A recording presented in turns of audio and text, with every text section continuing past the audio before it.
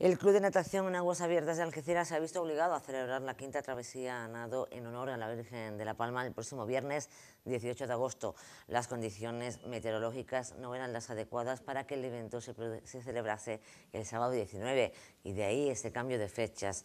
El horario previsto de las actividades se dará comienzo a las 5 y media de la tarde con la prueba popular de 200 metros. A continuación, a las 6 se desarrollará la prueba corta de 600 metros y al final a las 6 y media se dará salida a la prueba reina con una distancia de 1.300 metros.